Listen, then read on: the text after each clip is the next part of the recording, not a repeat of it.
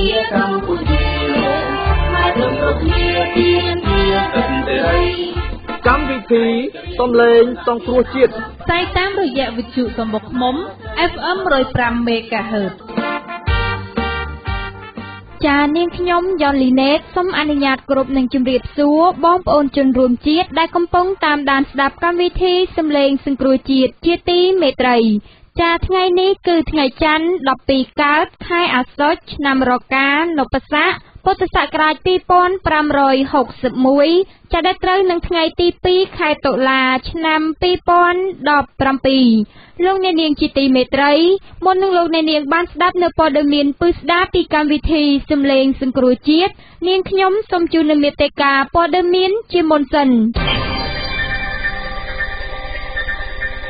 អនុប្រធានគណៈបកសង្គ្រោះជាតិលោកស្រីមួសុខហួរបញ្ជាក់ថា ការតស៊ូមតិរបស់គណៈបកសង្គ្រោះជាតិជាង20ឆ្នាំមកនេះគឺចង់បានសិទ្ធិសេរីភាពសិទ្ធិក្នុងការបញ្ចេញមតិនៅកម្ពុជាឲ្យបានពេញលេញមួយ ដោយគ្មានការគំរាមកំហែងសហមេធាវីការពារក្តីឲ្យលោកកឹមសុខាប្រធានគណៈបកសង្គ្រោះជាតិដាក់ពាក្យបណ្ដឹងទៅតុលាការកំពូលនីតិជួបជាមួយក្រុមប្រឹក្សាឃុំសង្កាត់ រួមជាមួយនឹងប្រសាសន៍ថ្នាក់ដឹកនាំគណៈបកសង្គ្រោះជាតិជាបន្តសូមលោកអ្នកនាងតាមដានស្ដាប់នៅការផ្សាយរបស់យើងខ្ញុំ ដែលមាន ជាបន្តបន្ទាប់ដូចតទៅ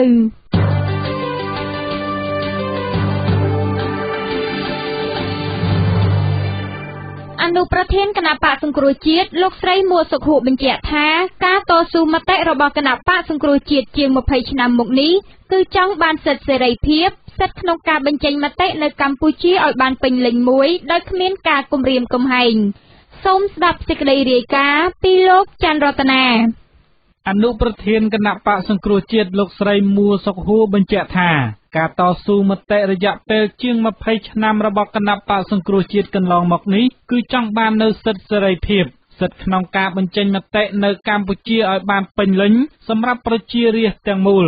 គណៈបកសង្គ្រោះជាតិមិនមែនតស៊ូមតិដើម្បីបំផ្លាញជាតិធ្វើឲ្យប្រជារាស្ត្ររងទុក្ខនិងបង្កឲ្យមានបដិវត្តពណ៌ដោយមជ្ឈដ្ឋានមួយចំនួនបានលើកឡើងនោះទេថ្លែងនៅក្នុងវេទិកាជួបជាមួយសកម្មជននិងប្រជាពលរដ្ឋនៅខេត្តកំពង់ធំនាថ្ងៃទី30ខែកញ្ញាឆ្នាំ2017លោកស្រីមួសុកហួរអនុប្រធានគណៈបកសង្គ្រោះជាតិមានប្រសាសន៍ថា រាល់ការតស៊ូមតិរបស់គណៈបកសង្គ្រោះជាតិគឺសុទ្ធសឹងចង់បានសិទ្ធិសេរីភាពពេញលេញមួយប្រកបដោយតម្លាភាព ធ្វើឲ្យសង្គមជាតិមានសន្តិភាពយ៉ាងពិតប្រាកដដោយធានាថាគ្មានការគៀបសង្កត់ការគំរាមកំហែងនិងការបំបត្តិសិទ្ធិសេរីភាពជាដើម លោកស្រីបន្តថាគណៈបកសង្គ្រោះជាតិចង់បានការអភិវឌ្ឍឲ្យមានការរីកចម្រើនលើគ្រប់វិស័យដើម្បីធ្វើឲ្យសង្គមជាតិ និងប្រជាពលរដ្ឋរស់នៅប្រកបដោយសន្តិភាពគ្មានការភ័យខ្លាច និងការគំរាមកំហែងជាដើមលោកស្រីមួសុខហួរបញ្ជាក់ថាគណៈបកសង្គ្រោះជាតិមិនចង់បានការអភិវឌ្ឍឲ្យរីកចម្រើនតែក្រុមបុគ្គលមានអំណាច ឬក្រុមហ៊ុន ចំណែកប្រជាពលរដ្ឋត្រូវរងទុក្ខវេទនាដោយសារការអភិវឌ្ឍនោះទេពោលគឺរាល់ការអភិវឌ្ឍត្រូវធានាថា មានស្តង់ដារ មិនធ្វើឲ្យខាតបង់ដល់សង្គមជាតិឬប៉ះពាល់ដល់ផលប្រយោជន៍ប្រជាពលរដ្ឋឡើយមិនមែនការអភិវឌ្ឍខ្លាយទៅជាអបណាខ្លាយទៅជាការអភិវឌ្ឍរបស់ក្រុមហ៊ុនកាសនេះក្រុមហ៊ុនកាសនេះជប់រលឹងជាតិទៅឯណាបើចឹងជាការអភិវឌ្ឍនឹងវាគ្រាមទៅខ្លាយទៅជាការអភិវឌ្ឍសម្រាប់អ្នកមានសម្រាប់អ្នកអត់ញាសម្រាប់អ្នកក្រុមហ៊ុនដែលមកយកដល់យើងរាប់ម៉ឺនលានអេកាយកប្រលឹងជាតិនឹងគេហៅថាការអភិវឌ្ឍទេមិនមែនទេនឹងធ្វើឲ្យប្រជាពលរដ្ឋយើងលោកជឿចាក់នឹងធ្វើឲ្យប្រជាពលរដ្ឋយើងលោកទៀមទានឹងធ្វើឲ្យប្រជាពលរដ្ឋយើងលោកចាំមានសេរីភាពនៅក្នុងការបញ្ចេញមតិនៅក្នុងការជឿជឿគួរជំរាបជូនដែរថាគោលនយោបាយរបស់គណៈបកសង្គ្រោះជាតិគឺពង្រឹងសិទ្ធិអំណាចប្រជាពលរដ្ឋលើកកម្ពស់ជីវភាពប្រជាពលរដ្ឋនិងអភិវឌ្ឍ ជាពិសេសការពារកម្មសិទ្ធិដីធ្លីស្របច្បាប់របស់ប្រជាពលរដ្ឋ និងមិនចុះហត្ថលេខាលើការវិនិយោគ ឬសម្បទានណាដែលប៉ះពាល់ដល់ប្រយោជន៍ជាតិ និងប្រជាពលរដ្ឋឡើយ។ លោកអ្នកនាងជាទីមេត្រីសហមេធាវីការពារក្តីប្រធានគណៈបកសង្គ្រោះជាតិលោកកឹមសុខាបានដាក់ពាក្យបណ្ដឹងសារទុកទៅតុលាការកំពូលហើយដើម្បីជំទាស់នឹងសារដីការបស់សាលាឧទ្ធរណ៍ដែលរក្សាការសម្រេចឃុំខ្លួនប្រធានគណៈបកសង្គ្រោះជាតិទុកជាបានការដដែលមេធាវីម្នាក់ក្នុងចំណោមមេធាវីការពារក្តីរបស់ប្រធានគណៈបកសង្គ្រោះជាតិលោកកឹមសុខាសង្ឃឹមថា តុលាការកំពូលនឹងពិចារណាលើបណ្ដឹងសារទុករបស់ខ្លួន ហើយសម្រេចឲ្យលោក កឹម សុខា បានរស់នៅក្រៅឃុំបណ្ដោះអាសន្នជាមួយគ្នានោះ លោកមេធាវីសំសុគង្គការពារក្តីឲ្យលោកកឹមសុខាមានប្រសាសន៍ថាប្រធានគណៈបកសង្គ្រោះជាតិលោកកឹមសុខា គួរតែមានសិទ្ធិរស់នៅក្រៅឃុំបណ្ដោះអាសន្នព្រោះតែលោកជាប្រធានគណៈបកសង្គ្រោះជាតិដែលជាបកប្រឆាំងធំជាងគេនៅកម្ពុជា និងជាគណៈបកគូប្រជែងតែមួយគត់របស់បកកាន់អំណាច លោកមេធាវីសំសុគង្គរំពឹងទុកថាតុលាការកំពូលនឹងពិចារណាទៅលើសេចក្តីសម្រេចរបស់តុលាការឧទ្ធរឡើងវិញ ហើយសម្រេចឲ្យប្រធានគណៈបកសង្គ្រោះជាតិបានរស់នៅក្រៅឃុំជាបណ្ដោះអាសន្នក្រោយពីប្រធានគណៈបកសង្គ្រោះជាតិលោកកឹមសុខាត្រូវបានសមត្ថកិច្ចចាប់ខ្លួន សហមេធាវីការពារក្តីរបស់លោកតែងតែព្យាយាមប្រើគ្រប់លទ្ធភាពដើម្បីឲ្យកូនក្តីរបស់ខ្លួនបាននៅក្រៅឃុំបណ្ដោះអាសន្ន ក្រុមមេធាវីក៏បានប្តឹងទៅកាន់សាលាឧទ្ធរណ៍ជំទាស់នឹងការសម្រេចឃុំខ្លួនរបស់សាលាដំបងផងដែរ ប៉ុន្តែនៅក្នុងសវនាការកាលពីថ្ងៃទី26 ខែកញ្ញា ឆ្នាំ2017កន្លងមកនេះ សាលាឧទ្ធរណ៍បានតម្កល់ដីកាសម្រេចឃុំខ្លួនរបស់សាលាដំបងក្រុងភ្នំពេញទុកជាបានការដដែល ចំណែកសហមេធាវីក៏បានដើរចេញពីអង្គសាវនាការ ដោយសារតែអង្គសាវនាការនោះដំណើរការដោយគ្មានវត្តមានប្រធានគណៈបកសង្គ្រោះជាតិ លោក កឹមសុខា ដែលជាជនត្រូវចោទ គួរជម្រាបថា គិតត្រឹមដើមខែតុលា ឆ្នាំ2017 នេះ ប្រធានគណៈបកសង្គ្រោះជាតិ លោក កឹម សុខា បានជាប់ឃុំខ្លួននៅពន្ធនាគារត្រពាំង tlong ក្នុងខេត្តត្បូងឃ្មុំ អស់រយៈពេល 29 ថ្ងៃមកហើយ បន្ទាប់ពីត្រូវបានសមត្ថកិច្ចឃាត់ខ្លួននៅពាក់កណ្ដាលអាធ្រាត្រឈានចូលថ្ងៃទី3 ខែកញ្ញា ឆ្នាំ2017 នៅគេហដ្ឋានរបស់លោក ស្ថិតនៅក្នុងខណ្ឌទួលគោក រាជធានីភ្នំពេញ ព័ត៌មានប្រចាំថ្ងៃដែលលោកអ្នកនាងបានតាមដានស្ដាប់អមញ្ញមិញនេះចប់តែប៉ុណ្ណេះ បាទច័ន្ទរតនាសូមជម្រាបសួរលោកអ្នកនាងដែលនិយមស្ដាប់កម្មវិធីសម្លេងសង្គ្រោះជាតិជាទីមេត្រីនាទីជួបជាមួយក្រុមប្រឹក្សាឃុំសង្កាត់ប្រចាំសប្ដាហ៍បានវិលមកជួបលោកអ្នកនាងតាមពេលវេលានិងម៉ោងកំណត់ហើយកិច្ចសម្ភាសរបស់យើងនៅថ្ងៃនេះយើងនឹងជជែកពិភាក្សាជាមួយមេឃុំព្រះប្រសពក្នុងខេត្តកណ្ដាលគឺលោកស្រីជូឈូនីជុំវិញពីការបម្រើសេវាសាធារណៈជូនប្រជាពលរដ្ឋនិងការអភិវឌ្ឍនៅមូលដ្ឋានលោកអ្នកនាងជាទីមេត្រី រយៈពេលដែលមេឃុំចៅសង្កាត់ជាប់ឆ្នោតមកពីគណៈបកសង្គ្រោះជាតិបានដឹកនាំមូលដ្ឋាន គេសង្កេតឃើញថាចំនួនឃុំសង្កាត់ដែលមេឃុំចៅសង្កាត់មកពីគណៈបកសង្គ្រោះជាតិបានដឹកនាំនោះគឺមានការអភិវឌ្ឍនៅមូលដ្ឋានគួរឲ្យកត់សម្គាល់ផងដែរដូច្នេះលោកអ្នកនាងពិតជាចង់ដឹងហើយថាតើមេឃុំចៅសង្កាត់សង្គ្រោះជាតិបានធ្វើអ្វីខ្លះនៅមូលដ្ឋានដែលខ្លួនដឹកនាំនោះដូច្នេះយើងនឹងជួបជាមួយលោកស្រីមេឃុំព្រះប្រសពទាំងអស់គ្នាសូមជម្រាបសួរលោកស្រីជូឈនីបាទចាសូមជម្រាបសួរអូនរយៈពេលដែលលោកស្រីបានដឹកនាំមូលដ្ឋានតើលោកស្រីបានធ្វើអ្វីខ្លះសម្រាប់ប្រជាពលរដ្ឋនៅមូលដ្ឋានបាទចាជាបឋមសូមគោរពបងប្អូនជំនឿជាតិខ្មែរទាំងអស់ពីគ្រប់ទាំងក្នុងនិងក្រៅប្រទេសខ្ញុំមានសេចក្តីរីករាយត្រេកអរខ្លាំងដែលកម្មវិធីជំនាញសុខជាតិតើការឲ្យខ្ញុំមានជំនាញនៅក្នុងសុខភាព ចាតកតទៅនឹងការអភិវឌ្ឍតាំងពីខ្ញុំបានចូលធ្វើជាមេឃុំខ្ញុំតែងតែព្យាយាមគ្រប់មធ្យោបាយដើម្បីដោះស្រាយបញ្ហាជូនប្រជាពលរដ្ឋតកតទៅនឹងសេវាសាធារណៈនៅក្នុងសេវាសាធារណៈនេះយើងមានតកតងលិខិតស្នាមតកតងលិខិតស្នាមនេះប្រជាពលរដ្ឋមួយចំនួនមកដល់ខ្ញុំខ្ញុំធ្វើឲ្យបានភ្លាម តែករណីខ្លះក៏អាចមានការវិចារបន្តិចបន្តួចដែរប៉ុន្តែក្នុងការវិចារក៏មិនឲ្យហួសពីច្បាប់កំណត់ដែរបាទថាដែលយឺតយ៉ាវយឺតយ៉ាវជាគ្រូជួនកាលទៅយើងត្រូវការ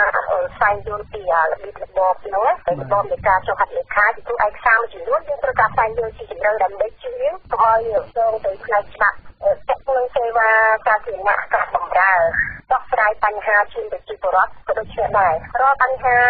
ដែលគាត់ដាក់ពីមកសុំការដោះស្រាយពីយើងនៃឃុំប្រមុខសាឃុំយើងតែងតែយកចិត្តទុកដាក់ដោះស្រាយឲ្យទាន់ពេល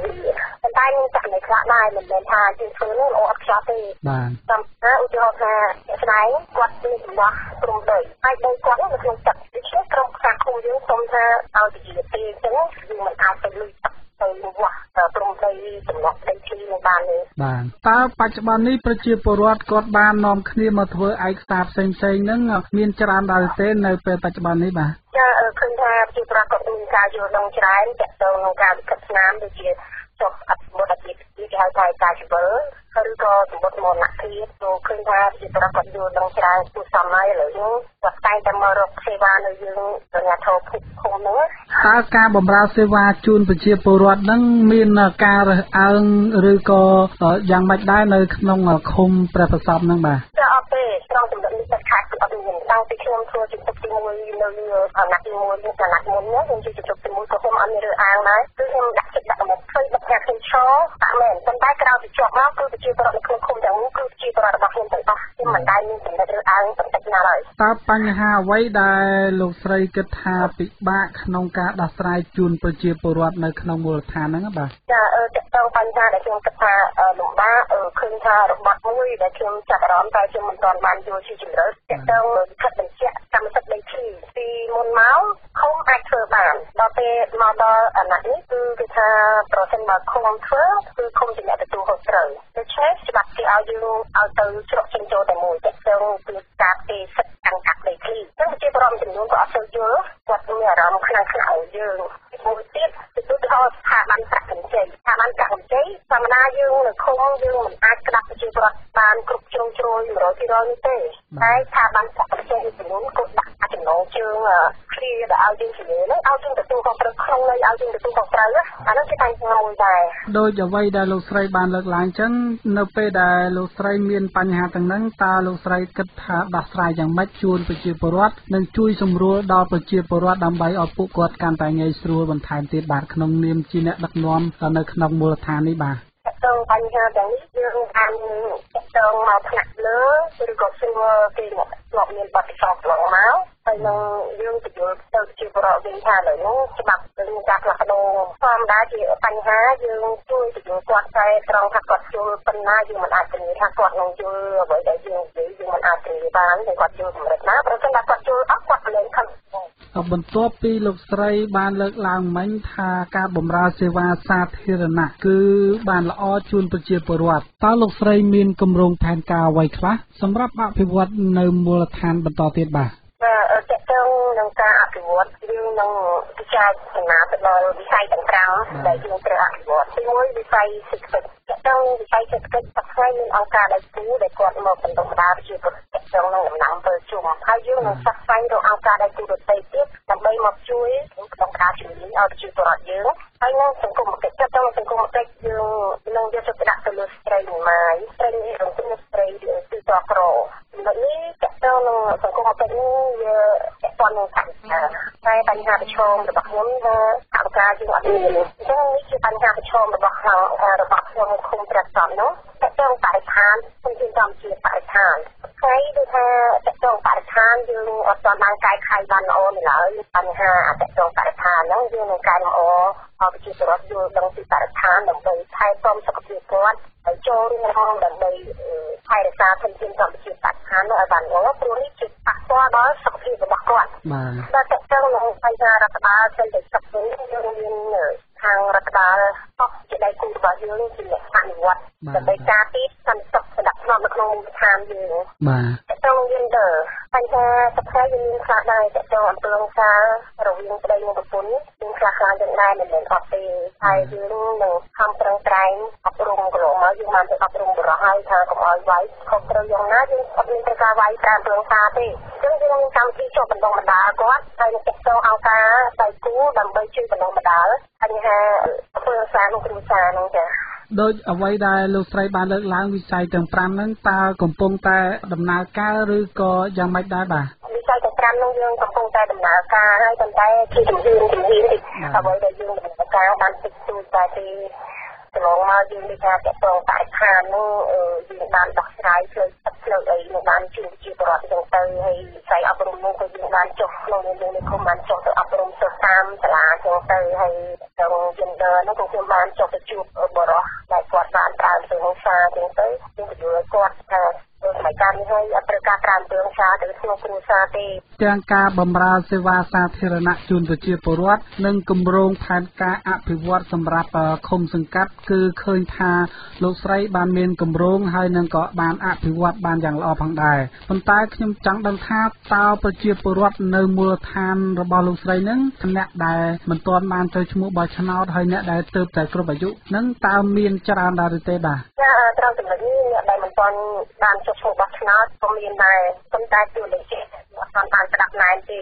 ព្រោះចិត្តទេវាស្អីទេកាងយងនេះបញ្ហាទឹកលិចនោះជាបញ្ហាចម្បងរបស់ភូមិព្រះវិស័យដូច្នេះយើងមានញាតការដោះស្រាយប្រព័ន្ធទឹកដោះភូមិនឹងហើយឆ្វេងទៅនេះខ្ញុំធ្វើឲ្យពីចាំមិញនេះគឺទំនុកការពីសុខភាពទន្លេប្រឡងមកពី2011មកនោះគឺអត្តពលសុខភាពនៅក្នុងភូមិព្រះកាត់ទៅជា381ហ្នឹងចាដាក់ផ្លូវទៅតំងអញ្ចឹងមានកំពុងមានអាការងារទឹកស្កាត់នៅគ្រោះអន្តរាយនិងការងារដោះទឹកពីក្នុងភូមិរបស់ជាប្រព័ន្ធវាវាអត់មានប្រព័ន្ធទឹកដូច្នេះការងារអត់នឹងយើងអត់ទាន់បានស្ដាប់ណែនទេហើយចាក់តងយុវជនដែលទើបតែគ្រប់អាយុក៏ត្រូវខ្ញុំមានណែនមានត្រូវចូលឈ្មោះបោះឆ្នោតក្នុងអាណត្តិថ្មីនេះដែរចាហើយ តើលោកស្រីនឹងធ្វើយ៉ាងម៉េចដែរនៅពេលដែលពួកគាត់អត់ទាន់បានចូលឈ្មោះអញ្ចឹងតើលោកស្រីនឹងមានការអញ្ជើញឲ្យពួកគាត់ទៅចូលឈ្មោះឬក៏យ៉ាងណាដែរបាទចាត្រង់ចំណុចនេះយើងនឹងមានកម្មវិធីចុះគាត់តាមមូលដ្ឋានហើយគាត់ចុះឈ្មោះដើម្បីឲ្យមានទឹកដោះឆ្នោតនេះជាការដាក់ទឹករបស់ពលរដ្ឋយើងតែងតែបញ្យល់គាត់ថាទោះបីគាត់ឆ្លាញ់អាណាក៏ដោយឲ្យគាត់ទៅចុះឈ្មោះដើម្បីបំពេញការដាក់ទឹកជាពលរដ្ឋព្រោះឥឡូវនេះយើងទូនីតិយើងខំលេខខំដូច្នេះយើងអត់គិតតែឯងគឺ ចលនាឲ្យប្រជាពលរដ្ឋនោះទៅចុះឈ្មោះដោះឆ្នោតបានគ្រប់គ្រប់គ្នាចាជាចុងក្រោយតើលោកស្រីមានអ្វីថ្លែងទៅកាន់ប្រជាពលរដ្ឋក៏ដូចជាប្រិយមិត្តដែលកំពុងតែតាមដានស្ដាប់កម្មវិធីសម្លេងសង្គ្រោះជាតិបាទក្រៅនេះខ្ញុំសូមថ្លែងអំណរគុណយ៉ាងជ្រាលជ្រៅចំពោះបងប្អូនប្រជាពលរដ្ឋដែលបានបោះឆ្នោតផ្ដល់សេចក្តីទុកចិត្តឲ្យខ្ញុំបានជាជំនុំឃុំជាឱកាសដែលខ្ញុំបញ្ចេញសមត្ថភាពបញ្ចេញស្នាដៃដើម្បីអភិវឌ្ឍឃុំខ្ញុំហើយខ្ញុំសូមអំពាវនាវឲ្យប្រជាពលរដ្ឋនៅក្នុងទៅគុំប្រាប់គាត់ឲ្យសហ ការជាមួយយើងយើងជាអាជ្ញាធរព្រោះបើយើងគ្មានការសហការនេះទេយើងអាចអភិវឌ្ឍអ្វីបានទេអញ្ចឹងយើងសង្កេតឃើញថាធ្វើអ្វីៗត្រូវមានការសហការនេះដើម្បីមានការរីកចម្រើនក្នុងមូលដ្ឋានចា៎ដោយអ្វីដែលលោកស្រីបានលើកឡើងគឺមេឃុំចៅសង្កាត់មកពីគណៈបកសង្គ្រោះជាតិបំរើប្រជាពលរដ្ឋដោយឆន្ទៈពិតៗគឺធ្វើយ៉ាងណាឲ្យមូលដ្ឋានដែលខ្លួនដឹកនាំមានភាពរីកចម្រើន និងដោះស្រាយរាល់ទុក្ខលំបាករបស់ប្រជាពលរដ្ឋបានទាន់ពេលវេលាប្រកបដោយប្រសិទ្ធភាព ដោយពេលវេលាដល់ទីបញ្ចប់ខ្ញុំសូមអរគុណលោកស្រីជូឈនី មេឃុំព្រះប្រសពដែលបានផ្ដល់កិច្ចសម្ភាសជាមួយកម្មវិធីសម្លេងសង្គ្រោះជាតិហើយនេតិជួបជាមួយក្រុមប្រឹក្សាឃុំសង្កាត់នឹងវិលមកជួបលោកអ្នកនាងនៅសប្តាហ៍ក្រោយតាមពេលវេលានិងម៉ោងដដែលសូមអរគុណសូមជម្រាបលាលោកស្រីបាទចាសូមអរគុណសូមជម្រាបលាចាខ្លួនដែលចង់ធ្វើអត្តលិខិតបញ្ជាក់ទីលំនៅក្នុងទិសដៅធ្វើអត្តសញ្ញាណប័ណ្ណទី1ត្រូវបង្ហាញខ្លួននៅប៉ុស្តិ៍ប៉ូលីសណាប៉ុស្តិ៍ប៉ូលីសស្ដាប់ច្បាស់ខ្ញុំលើកចំណុចជូនទី1ខ្លួនឯងមានលិខិតបញ្ជាក់កំណើតហើយ ទៅបង្ហាញខ្លួននៅប៉ុស្តិ៍ប៉ូលីសបង្ហាញខ្លួនហើយនាំសាកសីម្នាក់ទៅជាមួយផងសាកសីនឹងអ្នកណាក៏បានដែរឲ្យនៅឃុំសង្កាត់ដែលយើងរស់នៅសាកសីនឹងត្រូវមានរតសញ្ញាណប័ណ្ណនិងសភៅគ្រួសារឬសភៅស្នាក់នៅទៅជាមួយផងសម្រាប់ធានាយើងស្រាប់បានទេបងប្អូនទី1សម័យខ្លួនត្រូវបង្ហាញនៅប៉ុស្តិ៍ប៉ូលីសទី2នាំសាកសីម្នាក់ សាកសីនឹងត្រូវមានអត្តសញ្ញាណប័ណ្ណឬសភៅគ្រួសារអញ្ចឹងអាចបងប្អូនយើងអាចមិត្តភ័ក្តិយើងក៏បានដែរគេធានាទៅបង្ហាញខ្លួនដើម្បីធ្វើលិខិតបញ្ជាក់ទីលំនៅអានឹងចំណុចទី2ណាចំណុចទី3មាន បញ្ជាក់លិខិតបញ្ជាក់កំណើតណាដែលយើងថាធ្វើអត់បានគឺត្រូវតែបានព្រមឬកើតមកហើយកើតនៅស្រុកខ្មែររឿងអីកើតមកចង់ស្លាប់ទៅវិញឯងក៏ធ្វើបញ្ជាក់កំណើតឲ្យគេមិនតែធ្វើបញ្ជាក់កំណើតអត់បានចឹងទៅទៀតយើងស្លាប់ទៅគេក៏អត់ធ្វើសម្បត្តិបញ្ជាក់ថាមរណភាពឲ្យដែរចឹងវាអត់ត្រូវជាលក្ខណៈជាក់ស្ដែងលក្ខណៈសច្ចានុមត្តវាត្រូវតែធ្វើឲ្យសម្បត្តិកំណើតទី3មិនទី1បង្ហាញខ្លួនទី2មាន សាក្សីទី3មានសមុទ្របញ្ជាក់កំណើត ទី4ទី4លិខិតបញ្ជាក់ទីលំនៅនឹងគឺត្រូវចុះហត្ថលេខាដោយមេប៉ុស្តិ៍ផងដោយអាជ្ញាធរឃុំសង្កាត់ផងចឹងខុសពីបញ្ជាក់ទីលំនៅរបស់យើងធម្មតាណាយើងធម្មតាសញ្ញេដល់មេឃុំទេយល់ទេដល់នេះក្នុងទិសដៅធ្វើអត្តសញ្ញាណប័ណ្ណសញ្ញេមេប៉ុស្តិ៍ផងអាជ្ញាធរឃុំផង គេបើកទលាយមួយទៀតបើកទលាយទីមួយទៀតក្នុងករណី ដែលមេប៉ុស្តិ៍អត់នៅអាជ្ញាធរហៅថាមេឃុំអត់នៅចឹងគឺត្រូវអ្នកបន្ទាប់សញ្ញេតាមការប្រគល់សិទ្ធិជាលាយលក្ខណ៍អក្សរតាមឋានានុក្រមពាក្យឋានានុក្រមកាលណាប្រធានប៉ុស្តិ៍អត់នៅអនុប្រធានអនុប្រធានអត់នៅមានអនុប្រធានទី1ទី2អញ្ចឹងទៅខាងឃុំកាលណាមេឃុំអត់នៅមានជំទប់ទី1ជំទប់ទី2អញ្ចឹងទៅណាហើយបញ្ជាក់ថែមទៀតថា ការធ្វើលិខិតបញ្ជាក់ទីលំនៅក្នុងទិសដៅធ្វើអត្តសញ្ញាណប័ណ្ណនឹងអត់យកលុយទេណាអត់មានអស់លុយអស់កាក់អីទេ ហើយអាជ្ញាធរប៉ូលីសនិងសង្កាត់ត្រូវតែធ្វើឲ្យបានទាន់ពេលវេលាសម្រាប់ធ្វើអត្តសញ្ញាណប័ណ្ណក្នុងទិសដៅធ្វើចោះឈ្មោះនាពេលខាងមុខនេះចឹងគេបញ្ជាក់ចឹងទៀតណាចឹងយល់ឲ្យច្បាស់បើគេមិនព្រមធ្វើឲ្យនិយាយយកអាស្ក្រីណែនាំលេខ002មហាផ្ទៃប្រាប់អាជ្ញាធរឃុំស្កាត់ហ្នឹង ថាគេណែនាំអញ្ចឹងអញ្ចឹងបាទរឿងនេះខ្ញុំសូមទាញអារម្មណ៍បងប្អូនទាំងអស់ថាវាជាក្បិតមកពីវាអាចជន់បរទេសប្រឡំធ្វើអត្តសញ្ញាណប័ណ្ណដែរតែវាជួយសម្រួលដល់បងប្អូនយើងដែលផ្លាស់ទីលំនៅហើយអត់មានអាស័យដ្ឋានច្បាស់លាស់គេបញ្ជាក់មួយទៀតណាបញ្ជាក់ចុងក្រោយថាបើផ្ទះហ្នឹងអាបើផ្ទះហ្នឹងមិនមែនផ្ទះយើងហើយគេមិនអោយដាក់លេខផ្ទះ ដាក់តែលេខផ្លូវឈ្មោះភូមិឃុំសង្កាត់អីក៏បានដែរនេះគេបញ្ជាក់ចឹងទៀតប៉ុន្តែមានសង្កាត់ខ្លះខូចសង្កាត់ខ្លះខូចថាអីតែដាក់អត់ដាក់លេខផ្ទះកុំព្យូទ័រវាអត់លូតអានឹងនិយាយនិយាយខុសលក្ខណៈបច្ចេកទេសទេអញ្ចឹងយើងកុំយើងកុំនិយាយតាមការអ្វីដែលខុសយើងនិយាយតាមខ្លឹមសារណែនាំរបស់ក្រសួងមហាផ្ទៃអញ្ចឹងយើងអត់មានរឿងអីត្រូវនិយាយក្រៅផ្លូវច្បាប់បានទេ យើងនិយាយមានក្តារស្នាមសម្រាប់យកមកបញ្ជាក់ហើយបើថាបងប្អូនរកក្តារនោះអត់បានទេ បងប្អូនគ្រាន់តែប្រាប់លេខគេណែនាំ002ចុះថ្ងៃ13ខែបាទខែមករាឆ្នាំ2016ហ្នឹងទៅអានឹងយល់ចឹងខ្ញុំក៏ជម្រាបជូនត្រួសត្រាប៉ុណ្ណឹងថ្ងៃសុក្រនឹងយើងធ្វើប្រធានបទលំអិតទៀតស្ដីពីបញ្ហាបោះឆ្នោតចឹងបងប្អូននឹងយល់ថាទៀតឥឡូវខ្ញុំគ្រាន់ឲ្យដឹងសិនសម្រាប់អ្នកណាទៅដោះស្រាយបញ្ហារឿងអតាសញ្ញាប័ណ្ណទៅធ្វើបដាបដាទៅតែធ្វើបដាបដាទៅហើយអត់មានអស់លុយអស់កាក់ទេសូមអរគុណ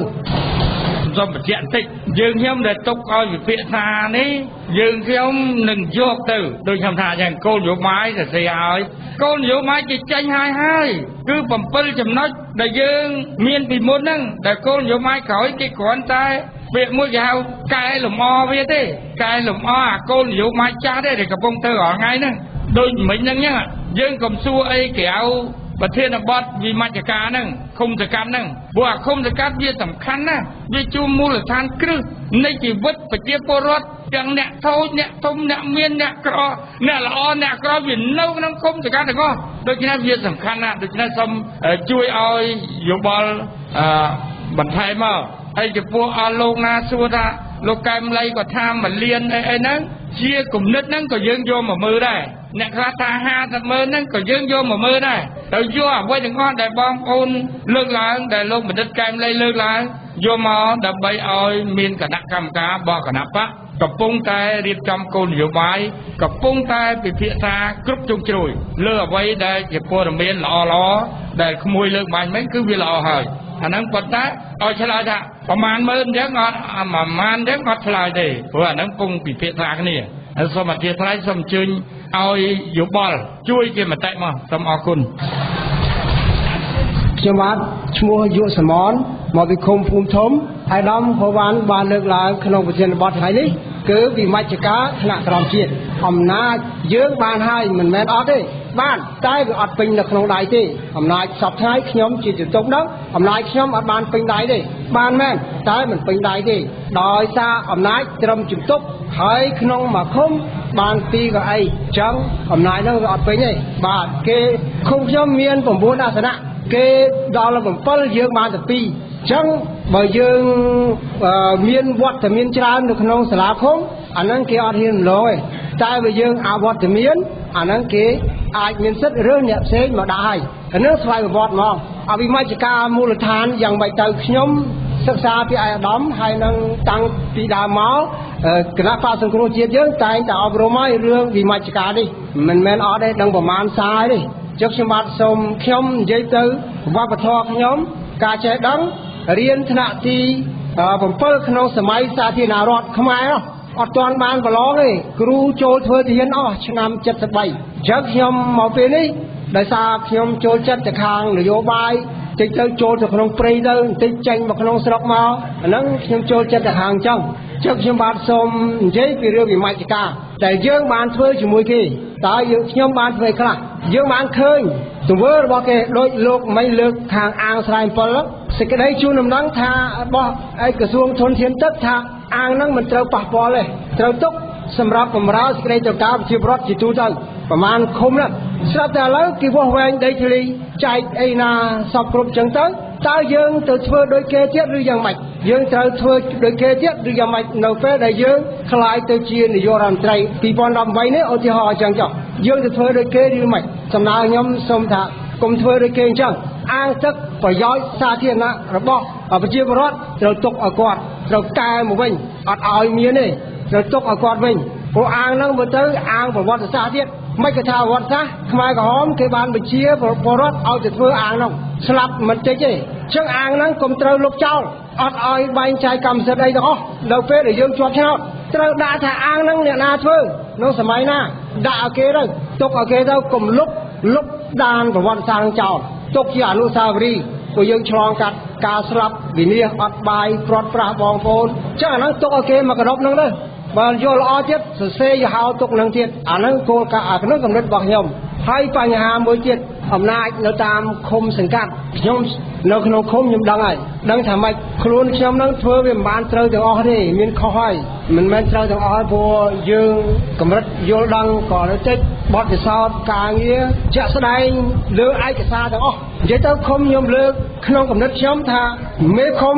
ក្រុមប្រឹក្សាឃុំ ទាំងអស់ជាអ្នកកាត់បន្ថយខ្ទង់ចំណាយពលរដ្ឋកាត់តាមបែបណាកាត់យ៉ាងម៉េចបើខ្ញុំហ្នឹងគ្រាន់តែរបស់ប្រើប្រាស់ផ្ទាល់ខ្លួនប្រជាពលរដ្ឋអ្នកទិញឲ្យតែឯងកាត់បែបណាយើងត្រូវអង្គុយមើលឯកសារពលរដ្ឋនៅក្នុងឃុំបើសិនជាយើងមេឃុំវិញឯកសារទាំងអស់ត្រូវពិនិត្យឡើងលម្អិតល្មមតាំងពីបញ្ជីជាតិទៅធ្វើស្នាក់នៅអីទាំងអស់កុំឲ្យគាត់ខុសតែគាត់ខុសឯកសារមួយគាត់រត់ ដឹងប្រមាណត្រឡប់អស់លុយច្រើនណាស់ដូចកែតម្រូវវិជីជាតិទៅតាមសញ្ញាបត្រសញ្ញាបត្រគាត់រៀន10ឆ្នាំ20ឆ្នាំដល់ពេលគាត់ចង់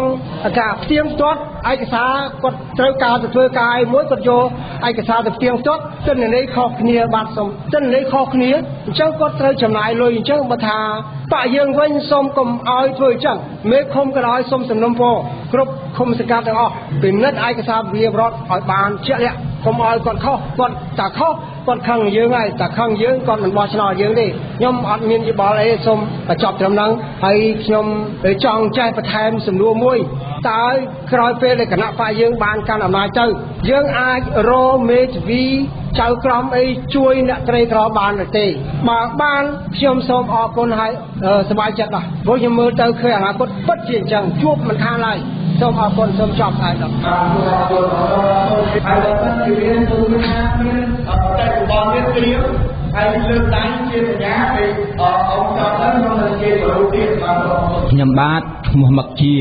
មកពីឃុំកគីធំស្រុកគៀនស្វាយខេត្តកដាលខ្ញុំសូមគោរពអាដាមតំណាងរាស្ត្រទាំងអស់និងសូមគោរពដល់សកម្មជនទាំងអស់គណៈបកសង្គ្រោះជាតិដែលមានវត្តមាននៅទីនេះខ្ញុំសូមលើកអំពីច្បាប់វិមជ្ឈការច្បាប់វិមជ្ឈការរបស់រដ្ឋាភិបាលកាន់អំណាចរាល់ថ្ងៃនេះខ្ញុំបានរៀនចេះច្រើនបាទក៏ប៉ុន្តែអត់បានយកមកប្រើនៅតែក្នុងក្រដាស់នៅឡើយទេបាទឥឡូវទីហោដូចជាលុយថវិកាដែលទម្លាក់ពីថ្នាក់ជាតិមកវាមានពីរមួយលុយរដ្ឋបាលមួយលុយអភិវឌ្ឍលុយលុយរដ្ឋបាលវាមានឧទាហរណ៍ថាថា200លានឧទាហរណ៍លេងឯងពួកខ្ញុំអត់ចាំទេហើយកាត់ដាក់ខែមេភូមិមេឃុំក្រុមសាឃុំអស់ហើយមានសល់លុយរដ្ឋបាលហ្នឹងហើយហើយលុយរដ្ឋបាលហ្នឹងនឹងទៅនៅណាផងហ្នឹងបាទវាអត់វាអត់មានតម្លាភាពទេក្នុងការចាយវាខ្ញុំគាត់តែជ្រាបជូនប៉ុណ្ណឹងហើយលុយមួយទៀតគេហៅថាលុយ គេហៅថាលុយចំណូលមិនមែនសារពើពន្ធដូចជាលុយសញ្ញេស្អីអីផ្សេងផ្សេងប្រចាំថ្ងៃនោះប៉ណ្ណឹងនៅណាប៉ណ្ណឹងខ្ញុំមិនបាច់និយាយច្រើននិយាយតែបញ្យល់ប៉ុណ្ណឹងទេបាច់តែខ្ញុំជឿជាក់ថាប្រសូតចេញពីគណៈបកសង្គ្រោះជាតិមេឃុំសង្គ្រោះជាតិនឹងធ្វើឲ្យបានទៅតាមច្បាប់បែបប្រជាធិបតេយ្យបាទហើយខ្ញុំសូមដាក់ជូនសំណួរមួយគឺថាប្រជាពលរដ្ឋយើងខ្ញុំទាំងអស់នៅក្នុងឃុំកគីធំខ្ញុំតាតែងតែនិយាយប្រាប់ខ្ញុំជារឿយរឿយថាគាត់អត់ពេញចិត្តទេមេភូមិសពថ្ងៃមេភូមិគេហៅមេភូមិចែកច្បាប់ដោយគណៈបកកណ្ដាលអំណាចគេចែកច្បាប់ដោយគេគេការពារតែអំណាចគេទេគាត់សុំឲ្យ5អាណត្តិដោយក្រុមប្រឹក្សាភូមិបោះឆ្នោតដោយប្រជាពលរដ្ឋណាគាត់សុំអញ្ចឹងព្រោះមេភូមិសពថ្ងៃគេថាមេភូមិមួយជីវិតមេភូមិមួយជីវិតបើតាមខ្ញុំគិតទៅចង់ណែធ្វើខុសមិនក៏ដល់អំបានមកជីវិតដែរហ្នឹងអញ្ចឹងក៏សុំបោះឆ្នោតដោយប្រជាពលរដ្ឋមានអាណត្តិ5ឆ្នាំដោយក្រុមប្រឹក្សាឃុំដែរ បាទក៏សពអញ្ចឹងបាទអត់ឲ្យបោះឆ្នោតដោយក្រុមប្រឹក្សាឃុំទេមេភូមិរាល់ថ្ងៃបោះឆ្នោតដោយក្រុមប្រឹក្សាឃុំគាត់អត់ចង់បានអញ្ចឹងទេគាត់ចង់បានបោះឆ្នោតដោយខ្លួនគាត់ជ្រើសរើសខ្លួនគាត់តែម្ដងគាត់ពេញចិត្តអញ្ចឹងសូមឲ្យអាដាមមេតាសូមធ្វើយ៉ាងណា ដល់គណៈបកសង្គ្រោះជាតិឈ្នះឆ្នោតคล้ายខ្លួនទៅជាថ្នាក់ដឹកនាំដល់ប្រទេសជាតិគឺសូមឲ្យប្រជាប្រដ្ឋសូមកែតំណែងឃុំខ្ញុំនេះខ្ញុំអត់និយាយឃុំផ្សេងផ្សេងទេឃុំខ្ញុំសូមឲ្យកែអញ្ចឹងបាទសូមអរគុណទុកជាមុនអរគុណបាទអរសុខជាតិដែលបានលើកជាសំណួរចាត់អត់បាទជាផងខ្ញុំជាស្មោះស្ដាងមនិតខ្ញុំឡើងមកនេះពាក់ព័ន្ធពីរឿងបញ្ហាវិមជ្ឈការនិងសហវិមជ្ឈការហើយខ្ញុំនិយាយខ្លីនិយាយពីបញ្ហាទួនាទីនិងភារកិច្ចចៅសង្កាត់រង ជំទប់ទី1និងចៅជំទប់ទី2និងចៅសង្កាត់រងទី2ទួនាទីនិងភារកិច្ចមានដូចឯកឧត្តមគាត់មានប្រសាសន៍ហើយក៏ប៉ុន្តែក្នុងនោះយើងត្រូវដឹងថាច្បាប់នេះចែងឲ្យយើងថាជំទប់ទី1ជំទប់ទី2ទទួលជួយមេឃុំចៅសង្កាត់ចុះបើគេអត់ឲ្យយើងជួយភារកិច្ចគេឲ្យយើងប្រជារបស់ឆ្នោតឲ្យយើងប៉ុន្តែអំណាចដែលយើងត្រូវធ្វើនោះទទួលជួយចុះបើគេអត់ឲ្យជួយ យើងមានសិទ្ធិណាចុះហត្ថលេខានេះហើយជាវិមជ្ឈការคล้ายคล้ายចឹងខ្ញុំសូមគាត់ជម្រាបប៉ុណ្ណឹងបញ្ហាទី1បញ្ហាទី2ពាក់ព័ន្ធនឹងរឿងបញ្ហាចង់ឲ្យគុំសង្កាត់យើងមានការអភិវឌ្ឍគឺយើងចង់ឲ្យរដ្ឋាភិបាលនឹងធ្វើទៅតាមច្បាប់គឺទេពីបញ្ហាប្រមូលពន្ធមិនមែនសារពើពន្ធនៅពេលនោះគុំសង្កាត់មានកញ្ចប់ថវិកា ធ្វើការអភិវឌ្ឍដោយខ្លួនឯងគឺដោយស្វ័យយ័តបាទទៅតាមប្រព័ន្ធប្រជាធិបតេយ្យបាទប្រព័ន្ធប្រជាធិបតេយ្យគឺឃុំសង្កាត់គេធ្វើការអភិវឌ្ឍនៅក្នុងមូលដ្ឋានក៏ប៉ុន្តែយើងរដ្ឋាភិបាលថាយើងនឹកខ្សោយហ៎ក្មេងខ្ចីធ្វើអីក៏អត់បានដែរបើឲ្យប្រមូលពួនពុកតពោលអត់បានទេធ្វើអត់កើតប៉ុន្តែអត់ទាន់ឲ្យផងសាឲ្យមើលមើលបាទ កុំស្មានតែខ្លួនឯងចាស់នឹងហើយចេះប្រហែលក្មេងក្មេងឥឡូវអត់បានទេកុំព្យូទ័រលាយ Facebook លឿនមិនចឹងលេចដាច់រយន្តអន្តរលេងគាត់លេង Facebook ដែរបាទអរគុណសូមសូមអរយោបល់បាទខ្ញុំបាទឈ្មោះសុតជីវ័ននៅឃុំល្អិតស្រុកគិនស្វាយមុនមកខ្ញុំសូមគោរពអ្នកដែលបានចូលរួមនៅទីនេះទាំងអស់ខ្ញុំសូមមានមតិមួយចំនួនខ្ញុំចង់សួរអាដាមពីបញ្ហាថាវិមជ្ឈការឃុំសង្កាត់សួរថាតើ ចុងឆ្នាំដែលថាវិការដែលយើងចាយឃុំសង្កាត់ចាយតើឲ្យឃុំសង្កាត់អាចធ្វើសាវនកម្មថាវិការចំណាយបានអត់ព្រោះកន្លងមកគឺឃុំទូទាំងប្រទេសតាមខ្ញុំយល់ដូចមិនដែលគេបានធ្វើសាវនកម្មថាវិការទេពេលមេឃុំចាយ និងស្មានចាយគឺក្រមវិសាឃុំមិនដែលដឹងថាតើចាយអស់ប្រមាណអីប្រមាណគឺស្រេចទៅលើគេសល់ប្រមាណគឺខាងយើងខ្ញុំក៏មិនដែលដឹងហើយសួរគេក៏មិនដែលឆ្លើយដែរដូច្នេះខ្ញុំសូមមតិតែប៉ុណ្ណឹងសូមអរគុណបាទអរគុណច្រើនអញ្ចឹងជាបន្តសូមគោរពទីអាដាមអូច័ន្ទរតដើម្បីឡើងបាទដូចខ្ញុំជម្រាបខាងដើមថាយើងចង់បានយោបល់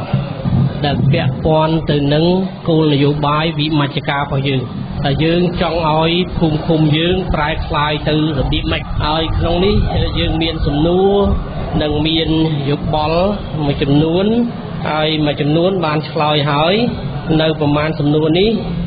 ពាក់ព័ន្ធនឹងខ្ញុំចាប់អារម្មណ៍ពាក់ព័ន្ធនឹងលុយរដ្ឋបាលអឺលុយរដ្ឋបាលលុយអភិវឌ្ឍ ហើយនឹងលុយចំណូលដែលបានពីការងារនៅក្នុងឃុំនឹងតើយកទៅណាយើងមានគម្រោងអញ្ចឹងហើយបានយើងចង់បានយោបល់ថាតើឲ្យពួកយើងបញ្ចូលអាចំណូលនឹងរបៀបម៉េចចំណាយរបៀបម៉េចហើយលុយនឹងត្រូវបែងចែកយ៉ាងម៉េចដើម្បីឲ្យឃុំសង្កាត់នឹងមានអំណាចប្រើប្រាស់ ទៅលើអកញ្ចប់ថវិកាសម្រាប់អភិវឌ្ឍនឹងខ្ញុំទទួលស្គាល់ថាវាជាគំនិតត្រូវដោយសារធម្មតាគេត្រូវបែងចែកកញ្ចប់ថវិកាសម្រាប់រដ្ឋបាល សម្រាប់ប្រាក់ខែបុគ្គលិកនិងឃុំខ្លួនឯងហើយត្រូវមានកញ្ចប់ថវិកាសម្រាប់អភិវឌ្ឍសម្រាប់ធ្វើគម្រោងអភិវឌ្ឍនឹងឃុំនឹងហើយចំណូលយើងខ្ញុំបានឮដែរថា គួរឲ្យមានការប្រមូលពន្ធដោយមូលដ្ឋាននឹងនេះជាគំនិតដែលល្អហើយចំណូលនឹងតើបែងចែករបៀបម៉េចហើយខ្ញុំចង់ឮដែរថាចង់ឲ្យយើងបែងចែករបៀបម៉េចប្រមាណភាគរយឡើងមកថ្នាក់ស្រុកថ្នាក់ខេត្តឬថ្នាក់ជាតិឲ្យប្រមាណភាគរយគួរទុកប្រើប្រាស់នៅក្នុងមូលដ្ឋានដើម្បីបន្តការអភិវឌ្ឍយើងទទួលយកគំនិតហ្នឹងគំនិតមួយទៀតប្លែកថាគួរឲ្យមានអ្នក ច្បាប់មេធាវីដើម្បីជួយការពារអឺប្រជាពលរដ្ឋនៅមូលដ្ឋាន ជាទូទៅរដ្ឋមួយមួយត្រូវទទួលខុសត្រូវក្នុងការផ្ដល់មេធាវីដល់អ្នកក្រីក្រអត់មានលទ្ធភាពជួលមេធាវីបាទយើងទទួលយកគំនិតហ្នឹងប៉ុន្តែយើងអាចដោះស្រាយតាមវិធីផ្សេងដោយសារមានប្រទេសមួយចំនួនហើយមានយោបល់ណែនាំពីលោកប្រធានលោកថាគួរតែមាន ក្រុមអ្នកដោះស្រាយវិវាទនៅមូលដ្ឋាន ដើម្បីជៀសវាងរុញឲ្យប្រជាពលរដ្ឋនឹងចូលទៅតុលាការហើយត្រូវប្រើប្រាស់ថវិកាចំណាយទៅលើតុលាការនឹងច្រើនរឿងខ្លះរឿងតិចតួចប៉ុន្តែនៅប្រទេសមួយចំនួនគេអត់ទេគេមានគេហៅ counselor ជាអ្នកផ្ដល់យោបល់នៅឃុំនឹងហ្មងជំនាញខាងនឹងតែហ្មងជំនាញខាងផ្ដល់យោបល់ហ្មងប្រាប់យើងថាបើធ្វើអញ្ចេះវាលទ្ធផលអញ្ចេះបើអ្នកឯងសម្រាប់អញ្ចេះលទ្ធផលអញ្ចេះ ហើយគេឲ្យជាយោបល់ថាគួរធ្វើយ៉ាងម៉េចដើម្បីចំណេញបាទទាំងសងខាងហ្នឹងបើសងខាងនឹងឯកភាពគ្នាសម្របសម្រួលក៏ចប់វិវាទនឹងត្រឹមនឹងទៅបើសងខាងនឹងនៅតែជានៅតែរឹងរូសប្រចង់បន្តទៅទៀតអានឹងជាសិទ្ធិរបស់គាត់ប៉ុន្តែត្រូវមានអ្នកឲ្យយោបល់គេ counselor នៅក្នុងឃុំនៅមូលដ្ឋានបាទអ្នកឲ្យយោបល់ទៅផ្នែកច្បាប់ទៅបាទអឺមានមួយទៀតថាជាយោបល់ល្អមេភូមិ គួរតែត្រូវបានបោះឆ្នោតដោយប្រជាពលរដ្ឋក្នុងភូមិអឺយើងបានគិតដែរថាតើដោះស្រាយតាមរបៀបណាព្រោះយើងបានឮបញ្ហានឹងច្រើនហើយថាការគៀបសង្កត់ការរឹតបន្តឹងសិទ្ធិសេរីភាពមួយចំនួន ការតាមដានមួយចំនួនវាកើតមកពីមេភូមិដោយសារសុទ្ធតែស្គាល់គ្នាមេភូមិមួយមួយស្គាល់អស់ប្រជាពលរដ្ឋក្នុងភូមិនឹងគាត់ដឹងបាទ គាត់ដឹងថាយើងធ្វើអីគាត់យើងនិន្នាការទៅកណាគាត់ដឹងទៅអស់ដោយសារមេភូមិនឹងគាត់នៅជាមួយយើងជាប់ជាមួយយើងដូច្នេះយើងត្រូវធ្វើយ៉ាងម៉េចដើម្បីឲ្យមេភូមិនឹងទៅជាបុគ្គលសម្រាប់បរារិះទូទៅវិញកុំឲ្យទៅជាមេឃុំដែលបង្កើតឡើងដោយបាក់ឬក៏បោះឆ្នោតពីប្រជាពលរដ្ឋផ្ទាល់តែម្ដងប្រកួតប្រជែងក្នុងភូមិប៉ុន្តែមានយោបល់មួយទៀតថា ជាយោបល់ខ្ញុំផ្ទាល់ទេមិនមែនជាទស្សនៈរបស់គណៈបកទេនៅប្រទេសជឿនលឿន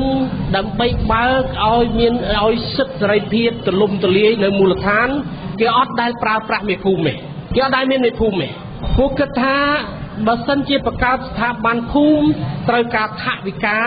ដើម្បីដាក់ទៅជាប្រាក់ខែមានទាំងមេភូមិមានទាំងមេភូមិរងមួយទៀតឥឡូវហ្នឹង ដូច្នេះបើបង្វិលថវិកានេះចូលទៅក្នុងកញ្ចប់ថវិកាឃុំទាំងអស់ដើម្បីអភិវឌ្ឍវិញអានឹងប្រហែលជាមានប្រសិទ្ធភាពវិញជាងប៉ុន្តែក្នុងមូលដ្ឋានក្នុងឃុំត្រូវមានការិយាល័យគ្រប់ទាំងអស់ការិយាល័យជំនាញគ្រប់ទាំងអស់ទាំងកសិកម្មទាំងផ្នែកទីផ្សារទាំងវគ្គបណ្ដុះបណ្ដាលទាំងស្អីនៅក្នុងឃុំទាំងអស់តាំងអតសញ្ញាណប័ណ្ណ ហើយខ្ញុំជំរាបខ្ញុំបាននិយាយច្រើនដងពីរឿងអតសញ្ញាណប័ណ្ណខ្ញុំមិនដែលឃើញប្រទេសណាធ្វើអតសញ្ញាណប័ណ្ណមានរដូវដូចដូចដើមឈើអញ្ចឹងទេណាដូចស្វាយដូចមៀនអីចឹងវាមិនដែលមានទេដល់រដូវបានទៅធ្វើអតសញ្ញាណប័ណ្ណបានដល់រដូវចុះឈ្មោះបោះឆ្នោតបានទៅចុះឈ្មោះបានប្រទេសជឿនលឿនអត់ទេស្ថាប័នរដ្ឋ ក្តីអីក្តីនឹងគេគេត្រៀមគេមិនមែនចាំដល់រដូវទេគឺគេមានជាប្រចាំតែម្ដងនៅមូលដ្ឋាននៅឃុំរបស់យើងត្រូវតែមានការិយាល័យអត្តសញ្ញាណប័ណ្ណមួយត្រៀមចាំប្រជាពលរដ្ឋធ្វើមកថ្ងៃណាក៏ធ្វើបានដែរពីម៉ោង8ដល់ម៉ោង5ល្ងាចពីថ្ងៃច័ន្ទដល់ថ្ងៃសុក្រដូច្នេះអត់ប៉ះពាល់ពេលវេលាប្រជាពលរដ្ឋទេលោកមកមានវ៉ាកងមកបានមួយថ្ងៃពីរថ្ងៃថ្ងៃឈប់សម្រាកអាចទៅធ្វើបានទៅទៅមិនចាំរដូវណា ហើយធ្វើហើយចុះឈ្មោះបោះឆ្នោតទៅនឹងហើយព្រោះនឹងមានរងថ្ងៃអត់មានពិបាករដូវដូចស្វាយអញ្ចឹងទេខ្ញុំមិនដែលឃើញបាទចឹងហើយបានមូលដ្ឋានយើងមួយចំនួនអត់ដំណើរការទេជាក់ស្ដែងខ្ញុំទៅកន្លែងខ្លះចងគោ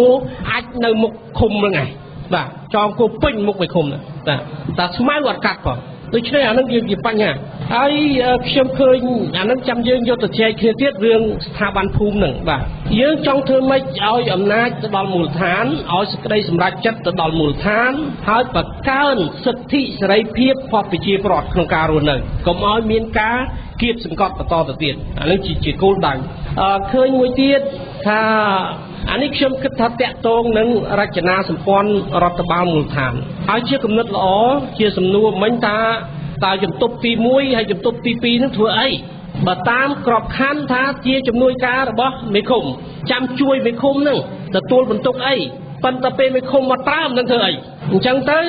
ពេលមេឃុំមកនៅលោកជំទប់ទី1ទី2អត់ដឹងធ្វើអីទៅផ្ទះដែរទៅពុំដឹងធ្វើអីតលពេលនាំគ្នាទៅផ្ទះទុកឲ្យឃុំនឹងស្ងាត់ មានតគូហើយកបីអាចដាក់ទៅអាហ្នឹងហើយដែលជាបញ្ហាដូច្នេះយើងនឹងពិនិត្យទៅលើរចនាសម្ព័ន្ធមូលដ្ឋាននឹងបន្តទៀតបាទយើងមានគំរូនៅប្រទេសអាមេរិកនៅបារាំងនៅអូស្ត្រាលីនៅអង់គ្លេសរចនាសម្ព័ន្ធមូលដ្ឋានគេមានរបៀបគ្រប់គ្រងខុសពីយើងបន្តិចវាមាន3 4ប្រភេទហើយគេធ្វើទៅមានប្រសិទ្ធភាពណាស់គេធ្វើយ៉ាងម៉េចឲ្យមានតម្លាភាព គេមានប្រព័ន្ធគេដើម្បីធ្វើឲ្យមានតម្លាភាពឲ្យមានកណន័យភាពត្រឹមត្រូវការទទួលខុសត្រូវត្រឹមត្រូវហើយបញ្ហាហ្នឹងបើយើងរៀបចំប្រព័ន្ធនឹងត្រូវកាត់បន្ថយអំពើពុករលួយគោលនយោបាយវិមជ្ឈការនេះអាចជួយច្រើនណាស់ដល់ការកាត់បន្ថយអំពើពុករលួយហ្នឹងព្រោះយើងរៀបចំប្រព័ន្ធថ្នាក់ក្រោមបាទអឺខ្ញុំឃើញមួយទៀតដែលគំនិតល្អតើឃុំអាចប្រមូលពន្ធខ្ញុំបានជំរាបខាងដើមមិញណាគំនិតល្អណាស់ នៅប្រទេសមួយចំនួនគេផ្ដល់អំណាចដល់មូលដ្ឋាន ដើម្បីតាក់ទាញវិនិយោគទុនចូលទៅក្នុងមូលដ្ឋានខ្លួនឯងប៉ុន្តែមានកម្រិតតើមានវិនិយោគទុនកម្រិតណាដែលឃុំខ្លួនឯងនឹងអាចធ្វើបានព្រោះខ្ញុំជឿថាក្រុមហ៊ុនមួយចំនួន អាចជ្រើសរើសទីតាំងដែលល្អហើយឃុំខ្លះមានទីតាំងដែលអាចជាតម្រូវការរបស់ក្រុមហ៊ុនចឹងក្រុមហ៊ុនត្រូវសម្លឹងទៅទៅឃុំហ្នឹងហើយ ហើយបើឃុំហ្នឹងមានធនធានល្អមានរចនាហេដ្ឋារចនាសម្ព័ន្ធដែលល្អមានប្រជាពលរដ្ឋដែលមានកម្រិតយល់ដឹងច្រើន ក្រុមហ៊ុននឹងទៅហើយដូច្នេះមូលដ្ឋានខ្លួនឯងឃុំខ្លួនឯងអាចមានសិទ្ធិសម្រេចទទួលយកក្រុមហ៊ុននឹងកាលណាមូលដ្ឋានទទួលសិទ្ធិសម្រេចទទួលយកក្រុមហ៊ុន អ្នកវិនិយោគទុនដល់មូលដ្ឋាន ជាការបង្កើតការងារដល់មូលដ្ឋាន បង្កើតការងារឲ្យកូនចៅយើងនៅក្នុងមូលដ្ឋានបានហើយកម្រិតនៃសេចក្តីសម្រេចថាតើយកពុនរបៀបម៉េចអានឹងយើងយកទៅពិចារណាតើប្រមាណភាគរយទម្លាក់ទៅឃុំប្រមាណភាគរយអាចទៅដល់ថ្នាក់ជាតិអញ្ចឹងណានឹងខ្ញុំសូមឆ្លើយទៅសំណួរប៉ុន្តែជាគំនិតល្អខ្ញុំបានកត់ទុកក្នុងហ្នឹងហើយយើងក៏មានគម្រោងពិនិត្យហើយយើងពិភាក្សាជាមួយអ្នកជំនាញនៅក្នុងគណៈកម្មការក្នុងបករបស់យើងហើយ ថាវិការអូនេះខ្ញុំបានជំរាបហើយតាកម្មភាពដែលធ្វើទាំងអស់ត្រូវតែមានតម្លាភាពនិងកណន័យភាពយើងរៀបចំឲ្យទៅជាប្រព័ន្ធបាទសូមអរគុណចាំបន្ថែមទៀតហើយសូមយោបល់បន្ថែមទៀតដើម្បីយើងយកទៅចម្រាញ់យកទៅពិភាក្សាគ្នាពេលយើងបានគោលនយោបាយនេះ យើងនឹងដាក់ជូនទៅអឺមតិសាធារណៈវិញតើអាចកែកន្លែងណាទៀតអាចឆ្នៃកន្លែងណាទៀតដើម្បីឲ្យមានប្រសិទ្ធភាពព្រោះជាការសង្ស័យកន្លែងខ្លះបើធ្វើគោលនយោបាយហើយឆ្លើយនឹងសំណួរគេសួរអត់បានទេអានឹងមានន័យថាគោលនយោបាយនឹងអត់អត់តែ logic ទេអត់ត្រឹមត្រូវទេព្រោះគាត់តែឆ្លើយនឹងសំណួរឆ្លើយអត់កើតផងតម្រាំយកទៅអភិវឌ្ឍមិនកើត សំបីតែគោលនយោបាយខ្លះធ្វើឲ្យឆ្លើយនឹងសំណួរកើតហើយនៅអភិវឌ្ឍអនុវត្តអត់កើតផងដោយច្បាប់បច្ចុប្បន្នអ្នកមានអ្នកលើកឡើងថាគោលនយោបាយមានបន្តការអនុវត្តសំបីតែបានទៅតាមអាគោលនយោបាយនឹងអត់បានផងអានឹងជាបញ្ហាចឹងមិនយើងខំធ្វើម៉េចរុញឲ្យទៅដល់មតិសាធារណៈលោកឆ្កឹះឆ្កៀលកែច្នៃធ្វើម៉េចឲ្យគោលនយោបាយនេះទទួលយកបានទាំងអស់គ្នាហើយគិតថា អាចអនុវត្តទៅកើតសូមអរគុណខ្ញុំមិនបាច់គោរពទេណាពេលវេលាខ្លីអញ្ចឹងគាត់ថាអាដាមអ៊ូច័ន្ទរតគាត់បានអឺមានប្រសាសន៍មិញស្ទើរតែគ្រប់គ្រាន់ទេប៉ុន្តែគាត់នៅមួយសំណួររបស់ខាងអឺកគីធំកគីធំគាត់ថា នៅពេលដែលយើងឈ្នះមើលឃុំ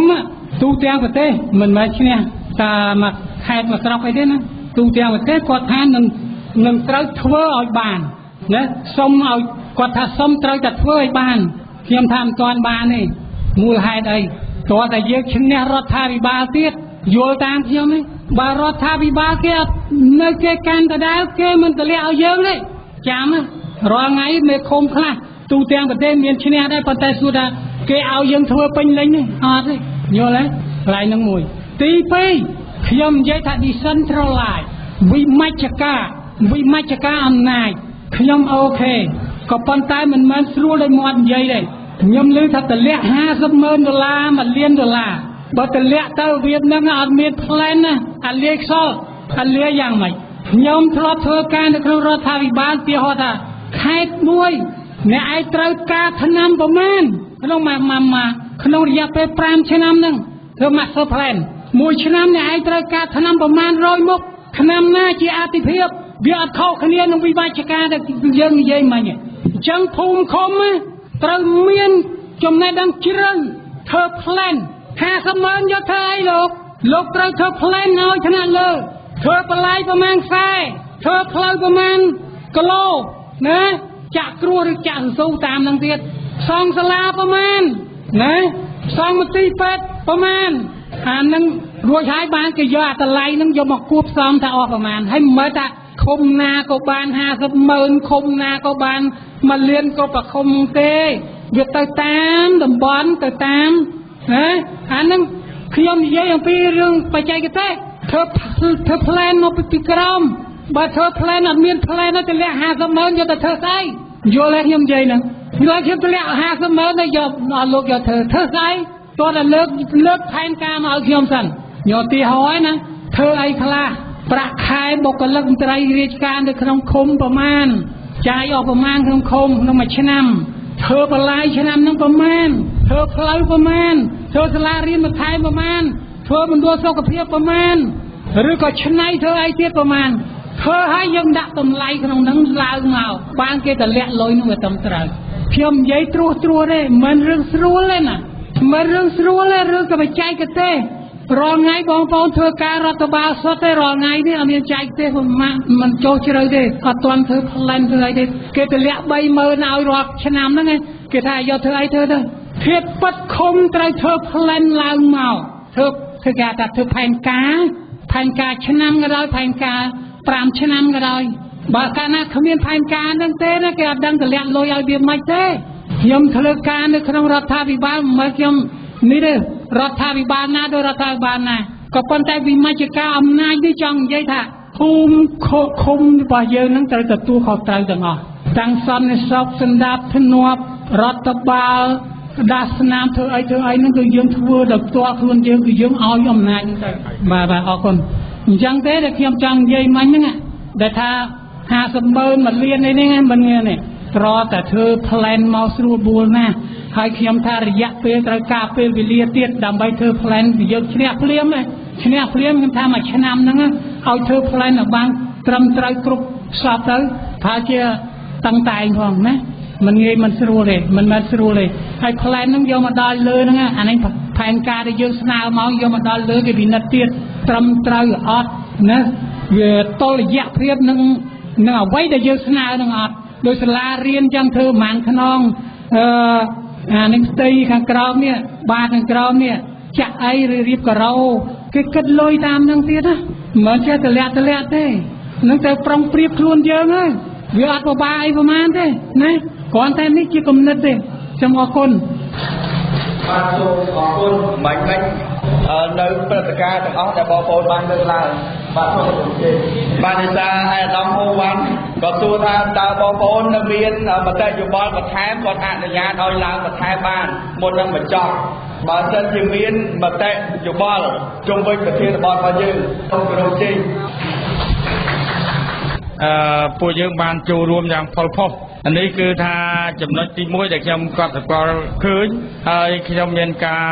ត្រេកអរណាស់ដែលបានចូលរួមហើយមតិដែលបងប្អូនបានលើកឡើងតាក់ទងនឹងការអភិវឌ្ឍតាក់ទងនឹងសន្តិសុខតាក់ទងនឹងបញ្ហាថវិកាគឺបងប្អូនបានលើកយ៉ាងផលផុសហើយខ្ញុំយល់ថាវេទិការបស់យើងនេះល្អយើងបំពេញបានល្អ ហើយយើងត្រូវដឹងថាក្នុងមួយអាទិត្យមាន3វេទិកាវេទិកាថ្ងៃច័ន្ទពេលព្រឹកគឺនិយាយពីគោលនយោបាយនិយាយពីនយោបាយបងថ្ងៃពុធគឺនិយាយពីវិមជ្ឈការបន្តទៀតព្រោះវិមជ្ឈការនិយាយប៉ុណ្ណឹងអស់ទេនៅសល់ច្រើនណាស់ហើយខ្ញុំសូមជម្រាបជូនចុះដើម្បីឲ្យឲ្យយើងដឹងថាតើយើងទៅដល់ផ្ទះយើងគួរយកចិត្តទុកដាក់លើបញ្ហាអីបញ្ហាវិមជ្ឈការបើនិយាយជាធំ ជាគោលធំមានតែ3ទេទី1គេហៅវិមជ្ឈការអំណាច គឺអំណាចពីថ្នាក់ជាតិពីថ្នាក់រាជធានីពីថ្នាក់ខណ្ឌគឺទម្លាក់មកឲ្យថ្នាក់ឃុំសង្កាត់ពីថ្នាក់ជាតិមកដល់ឃុំសង្កាត់តែម្ដងអំណាចនេះគឺឲ្យពេញលេញមិនមែនឲ្យដល់ឥឡូវទេគឺអាចធ្វើសេចក្តីសម្រេចបានអាចធ្វើដីកាបាន អាចរៀបចំ